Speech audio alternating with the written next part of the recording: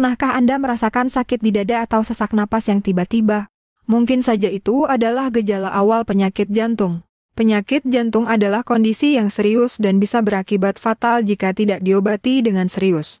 Namun, jangan khawatir karena ada beberapa obat alami yang dapat membantu mengobati dan mencegah penyakit jantung. Pertama-tama, konsumsi makanan yang sehat dan seimbang seperti buah dan sayuran. Contoh makanan penurun risiko penyakit jantung yang direkomendasikan adalah alpukat, blueberry, kacang-kacangan, ikan salmon dan anggur merah. Selain itu, minumlah teh hijau karena kaya akan antioksidan yang dapat membantu menjaga kesehatan jantung Anda. Teh hijau juga dapat membantu menurunkan kadar kolesterol jahat di dalam tubuh Anda. Beberapa jenis olahraga seperti jogging atau berenang secara teratur juga dapat membantu menjaga kesehatan jantung Anda. Perlu diingat, konsultasi dengan dokter sebelumnya sangat dianjurkan jika Anda tidak terbiasa berolahraga. Terakhir, manfaatkan pengobatan alami seperti kunyit, bawang putih, dan jahe.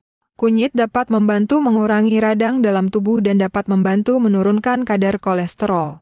Jahe dapat membantu membuka pembuluh darah Anda dan bawang putih dapat membantu menurunkan tekanan darah. Perlu diingat bahwa yang terbaik adalah jika Anda menyertai pengobatan alami ini dengan hidup sehat dan pergi ke dokter secara teratur untuk memonitor kondisi jantung Anda. Itulah beberapa obat alami yang dapat membantu Anda mencegah dan mengobati penyakit jantung. Semoga informasi ini dapat bermanfaat bagi kesehatan Anda. Terima kasih telah menonton video kami dan sampai jumpa di video selanjutnya.